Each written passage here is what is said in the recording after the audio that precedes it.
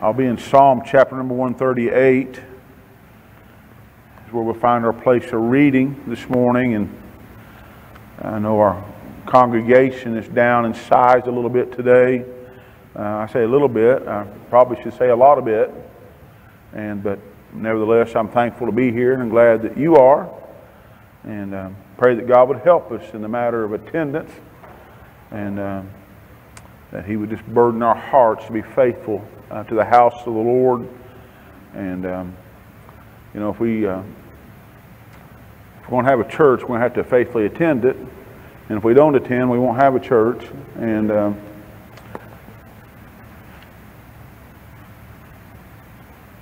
about all I know how to say about it. We, we either come or we won't come. I can't make anybody come. Can't give you the desire to come, but I pray the Lord to give you desire to come.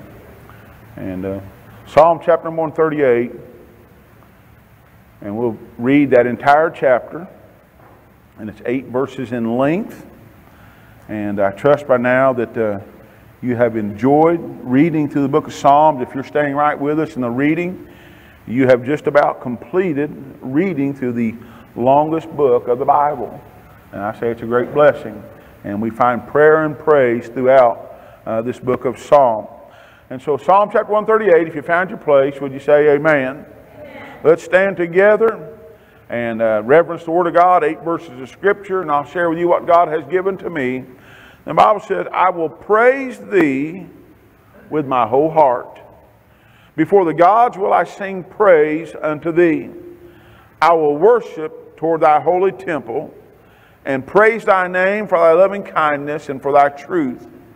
For thou hast magnified thy word above all thy name. In the day when I cried, thou answeredest me and strengtheneth me with strength in my soul. All the kings of the earth shall praise thee, O Lord, when they hear the words of thy mouth. Yea, they shall sing in the ways of the Lord, for great is the glory of the Lord. Though the Lord be high, yet hath he respect unto the lowly but the proud he knoweth afar off. Though I walk in the midst of trouble, thou wilt revive me. Thou shalt stretch forth thine hand against the wrath of mine enemies, and thy right hand shall save me.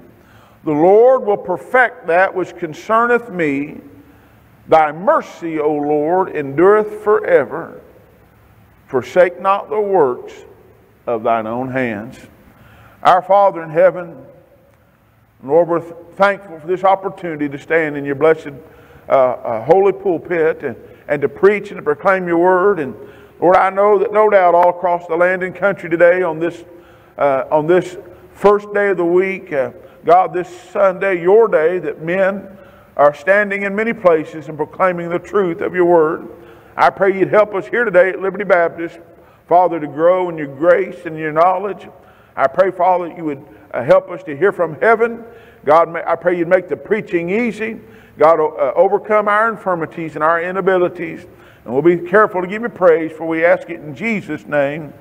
Amen and amen. You may be seated. I want to preach on this thought, and we will take our thought from verse number seven.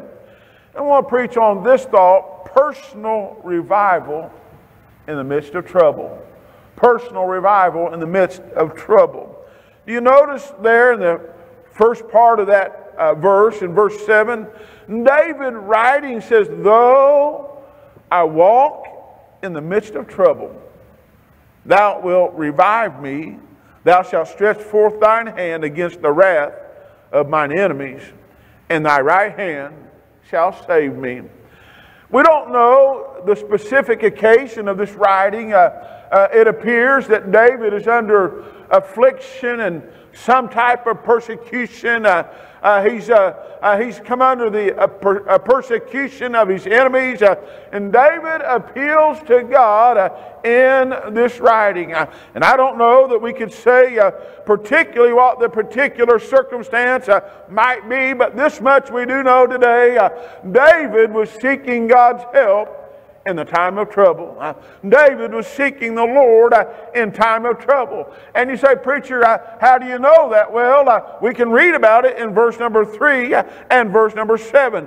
Do you notice what he said in verse number 3? Uh, he said, In the day when I cried, thou answerest me. In verse 7, he said, Though I walk in the midst of trouble, thou wilt revive me. As I begin to think about revival in the midst of trouble, a personal revival, because David wasn't seeking revival here in this instance uh, uh, for, uh, uh, for uh, his kingdom, as it will, for, for Israel, but he was seeking personal revival. He was seeking the Lord's help in his time of need. when I look at this scripture, my friend, and I think about what David is praying, and what is going on here, it reminds me uh, that you and I, uh, that believers can have confidence in God uh, for what He has done uh, and what He is doing and what He will do. Now, I know that we're living in troublesome times. Uh, and so uh, we can have confidence in God. And so this, when we look at this scripture, it provides us hope in the time of trial. I, I, mean, there's hope here in this scripture. And glory, hallelujah. And, and every person, myself, you, every Christian, uh, ought to strive for personal revival. It ought to be our desire to have revival, to, to walk closer with the Lord, to, to be less like me and more like Him.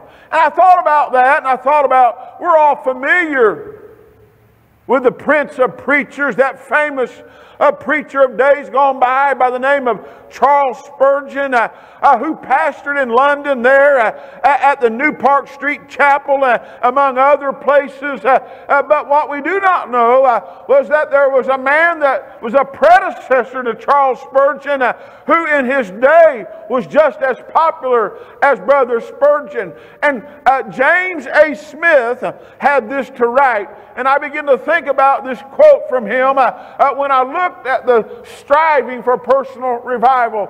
James Smith, the predecessor to Spurgeon, said it like this He said, My object, my goal, my aim, my desire. He says that uh, my, my object uh, is to take my mind uh, off self and put it on the Savior. He said it's to take uh, my mind from sin and put it on salvation. Uh, he said it's to take my mind from the troubles uh, and the afflictions of this world uh, and put it on the comfort that's found in God's holy word.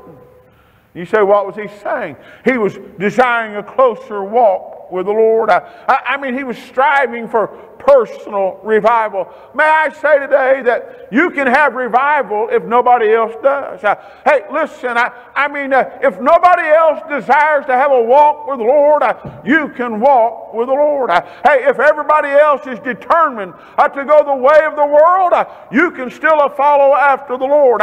if everybody else is bound and determined to forsake God's word, you can still follow after God's word. and David was seeking help help uh, in time of trouble. Uh, have you ever experienced troubles? Uh, have you ever had a problem in your life? Have you ever encountered a problem that you thought could not be overcome, that it could not be conquered? My friend, God is the master of every circumstance. And I look at this this morning, and there's so much more in this eight verses of scripture that I could preach on in a lifetime, but I see three very basic things about this personal revival in this chapter. I see, first of all, Brother Oida, I see the position of revival. It's given to us right here in God's Word, the position of God's Word. Uh, hey, listen, do you know the revival is not based on your physical ability? Revival is not based on your financial successes. Uh, revival is not based on your popularity uh, uh, or, the, or the office that you hold uh, in your local church. Uh, but revival uh, is a matter of the heart.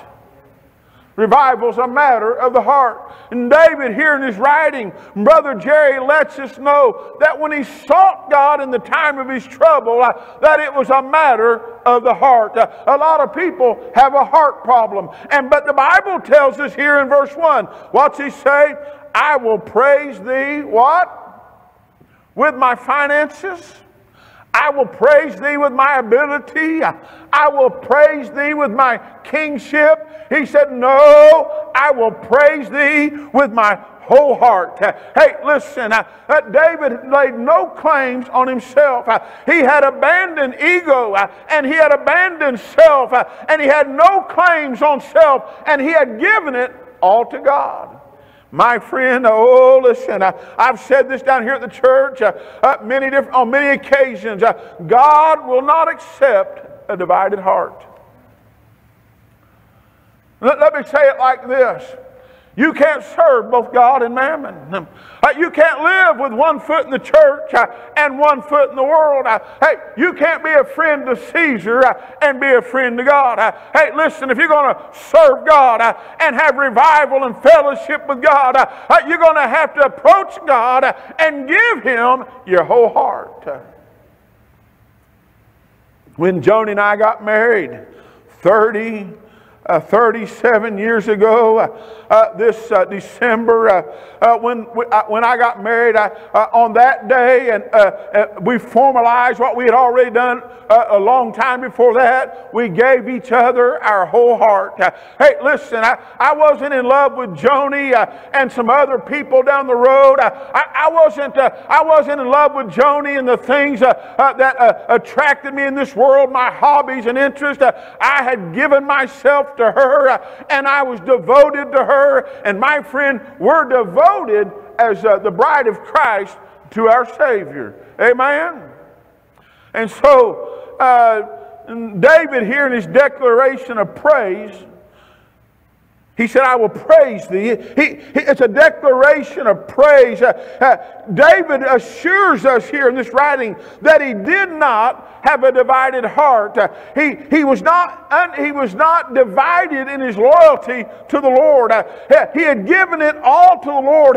He was consecrated and he had no claims on self. We're doing okay today? David had given the Lord his whole heart. I thought about the, the whole heart. And I, I, mentioned earlier that people have a heart problem today because they're half in and half out. They're not completely sold out uh, to the Lord. But the Bible has a lot to say about the whole heart. Did you know something, my friend? Uh, David was following in the pattern of the Mosaic law in Deuteronomy chapter 6 uh, and verse 5 when he said, I will praise thee with my whole heart. Uh, uh there, Moses in his writing said, And thou shalt love the Lord thy God, what? With all thine heart and with all thy soul and with all thy might. Hey, listen, uh, that was God's commandment. That was Moses' writing. David was following uh, in the example of Moses. Uh, and my friend, the whole heart. When we speak of the heart today, it's like the word love. We throw that around very loosely, don't we? And we've let the world define what love and the heart means, but God defines what that is in the Bible. And my friend, uh, uh, we the Bible has a, a lot to say about the whole heart. Did you know that loving God with, with your whole heart is not just an emotional feeling? It's not simply just uh, uh, ascribing to God the, the attributes of your affection, but my friend, it's earnestly seeking God and abandoning all other things that you might serve Him and no one else. And the Bible has a lot to say about the whole heart. David, in, a, in another writing in Psalms, uh, uh, tells us that uh, our earnest, uh, uh, earnestly seeking the Lord with the whole heart requires obedience. You can't serve God with your whole heart and not be obedient. Uh, hey, listen, uh, hey, listen. Uh, and there in Psalm chapter 119 and verse number 2, he said, Blessed are they that keep his testimonies and that seek after him with the whole heart. Uh, hey, listen, you can't separate obedience uh, and the whole heart. Uh, did you know something? If, if you're going to give God your whole heart, uh, you're going to have to trust in Him. I think sometimes we have contingency plans. We have backup plans, just in case plans. Uh, hey, listen, my friend, but we must trust in the Lord. Uh, the Lord knows what He is doing. Uh, and there in Proverbs chapter 3 and verse 5, the son of David, Solomon, has this to say. He said, Trust in the Lord with all thine heart and lean not to thine own understanding. You can't give God your whole heart and not trust in Him. Oh, listen, hey, if you're going to trust in the Lord, it's going to require, if you're going to give God your whole heart, it's going to require some prayer. It's going to require dedication and prayer. In fact, we Jeremiah the prophet spoke about this in chapter 29 and verse 13 uh, when he said, And ye shall see me and find me when ye shall search for me with all your heart. Hey, listen, what were they doing? They were seeking God. What do we do we pray to God? We're seeking God. In prayer, we're speaking to God. We're, we're searching God. We're, we're seeking after God. And if we're going to give God our whole heart, we must seek after Him. I wonder today what people are seeking after. Oh, listen, not only that, and I'll give you one last thought today. If you're going to give God your whole heart, it's going to involve some repentance. You got to turn from yourself and turn to the Lord. You're going you're to have to have a different mind and a different attitude about sin. Uh, and you're going to have to see things as God sees them. Uh, I thought about the prophet Joel, that minor prophet there in chapter 2, where he said, Therefore also now saith the Lord, turn ye even to me with all your heart. Did you notice something in every, every verse I read to you this morning? There's no place where it's halfway no place where it's partial, no place where the Lord gives us and says, just do the best you can. In every place we're told to seek God with all thine heart. And David here in this, in this, in this, uh, in this personal revival in the time of trouble, David here lets us know that the position of revival is a matter of the heart. Uh, he said, I will praise thee with my whole heart. Before the gods will I sing praise unto thee. In verse 2, he says, I will worship toward thy holy temple and praise thy name for thy loving kindness, for thy truth, for thou hast magnified thy word above all thy name. Hey, listen, David was submitting, he, he was surrendering to the Lord, he, he was worshiping toward the holy temple, he was praising the name of the Lord. And I thought about that passage of scripture there where he says, For thou hast magnified thy word above all thy name. Did you know something that uh, we're identified by our name?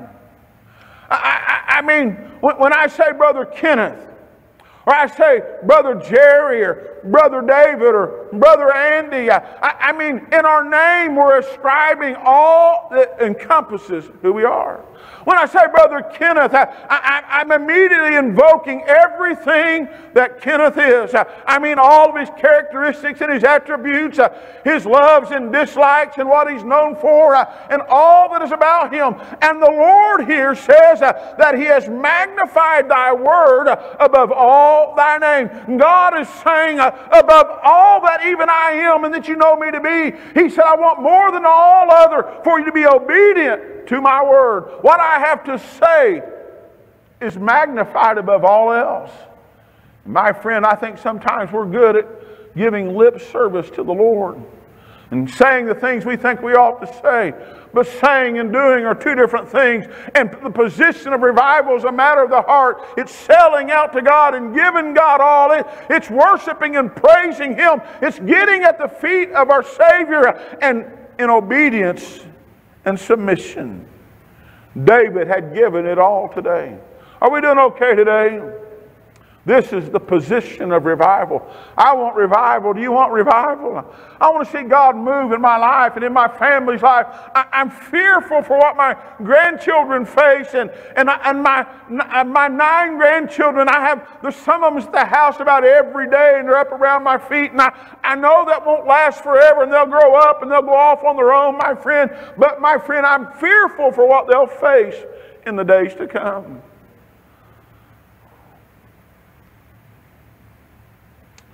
I thought about this and I anticipated your thoughts and mine when I talked about the position of revival because I'm sure that there'll be someone that'll say in their heart, but preacher, you don't understand what I'm going through.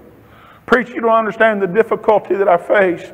And preacher, you don't know what it's like at my home, and you're right, I, I, I don't know, and I probably can't understand. But I can assure you, my friend, that no matter what you're going through, you can have revival with God in the time of trouble. And David was doing just that. And the first thing that we see in David's life was the position that he was in. And then I see not only the, the position of revival, but I see the place of revival. You know, some people think that revival is simply a mountaintop experience. Some people think that revival is ice cream and cake Christianity. Uh, and some people believe that revival is something that happens at the church house or, or in a prayer meeting or some type of religious gathering. Uh, but the Lord shows up and we can experience and have revival in the time of trouble. The place of revival, did you notice here in verse 7? He said, Though I walk in the midst of trouble, thou wilt revive me. David's place, the place of revival, the place, you know, there's just something about trouble that causes us to seek God, isn't there? I, I, it's just, it's our human nature. It ought not to be like that. We, we ought to seek God when the sun's shining the same way when the sun's not shining. But there's a tendency in our human DNA and our nature that it seems like that troubles and trials bring us to a place often where we must seek God. And David here was seeking God in the time of trouble. He, had, he, was, he was turning to the Lord. Uh, he, he, had, he had got on his knees. He was seeking the Lord. And, and, uh, and uh, I noticed something about the place of revival, though. It's easy to see, it's easy to understand that the place of revival in the time of trouble. But there's something, uh, there's something in that that's maybe a little bit less known. Did you look with me in verse 6? He said, Though the Lord be high, and he is high. He's above all things. He's the God of heaven. He's, he's ruler of all things. He said, Though the Lord be high, yet he hath respect unto the lowly. Oh my goodness, he says, But the proud he knoweth afar off. Oh, listen, I, hey, listen, I, I, I mean, this place of revival, this time of trouble is among the lowly and not the proud. And I thought about this as I was studying this. Some of the sweetest people I ever met, and people that were filled with humility and love, oftentimes had suffered the greatest afflictions in life. They had went and endured the things of life that nobody else had endured, and, and oftentimes they were poor and uh, raised under hard circumstances, my friend. Uh, hey, but listen, God resisteth the proud uh, and giveth grace to the humble. Uh, if we're going to have revival to God, uh, if we're going to have, we're going to be stirred, uh, moved to a closer walk with the Lord, we're going to have to abandon self and turn to the Lord. It requires humility to do that. We must humble ourselves before the Lord. I thought about this as well. I think sometimes that we that we, we think of humility as just simply a gentle demeanor. You know, some people are soft spoken. They're very humble in their nature. They, they're, they're not assuming. They, they're not forward. And they're, they're, they're shy in their, uh, in their approach. And they, they don't promote self. But that in and of itself may not be humility, my friend. But you know what humility is? It's the absence of self. And it's the presence of the Lord. I see this place of revival or the position of revival. It's a matter of the heart. I see the place of revival in the, in the midst of trouble. God, God gives grace to the humble. He, he, he, he, but the proud he knoweth afar off. And then I see the power of revival. You know what David said? Are we doing okay this morning? Verse 8, he said, The Lord will perfect that which concerneth me. Thy mercy, O Lord, endureth forever. Forsake not the works of thine own hands. I notice in verse 8 that he said, Forsake not the works of thine own hands. In verse 7, he says, Thou shalt stretch forth thine hand against the wrath of mine enemies. He says, Thy right hand shall save me. Again in verse 8, he says, Thy, The Lord will perfect that which concerneth me. He said, Thy mercy, O Lord, endureth forever. You know what David was saying? That there's power in revival that God has the ability to deliver. I, I mean, his right hand was significant, or signified his power. It, it, demonstrated God's ability. My friend, God's able to do all things. Uh, hey, listen, uh, uh, there's not a prayer that confounds him. Uh, there's not an event on earth that confuses him. Uh, uh, there's not anything that takes him by surprise. He's got all power in heaven and earth. and whatever it is that you face in this life, whether it's of your own making or somebody else's. Uh, you can have revival in, in the time of trouble and by God's mighty hand delivered uh, uh, by His power and put in a place where you can experience the power of Almighty God.